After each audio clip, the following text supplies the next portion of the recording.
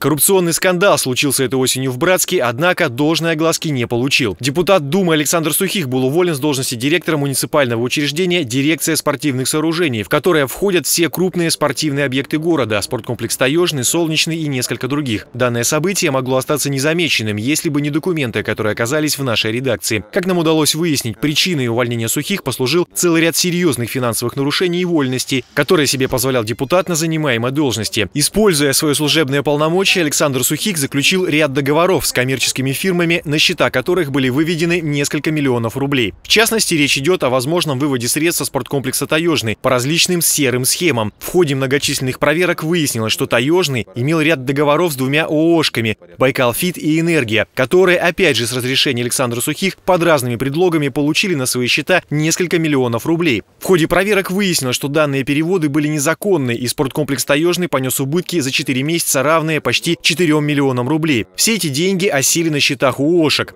Также установлено, что в кассе Таежного действовали два прайс-листа на оказываемые услуги. Часть денег шла в кассу спорткомплекса, а другая в кассу одной из ООшек. Выявлены нарушения по части сбора арендной платы за аренду залов и помещений спорткомплекса. За занятия в залах различные секции должны платить деньги в кассу Таежного, но соответствующих договоров и отчетных документов ревизоры не обнаружили. За аренду тренеры платили, но наличными, мимо кассы и чуть меньше, чем положено. Кажется странным и тот факт, что не спорткомплекс Таежный, а ООО «Байкалфит» занимались ремонтом чаши малого бассейна, и фирме были перечислены баснословные деньги – несколько миллионов рублей. А это тянет на классическую коррупционную схему, когда на строительный подряд берется своя фирма, а сметная стоимость работы умышленно завышается. На откате обычно сидят директор и покрывающие его чиновники.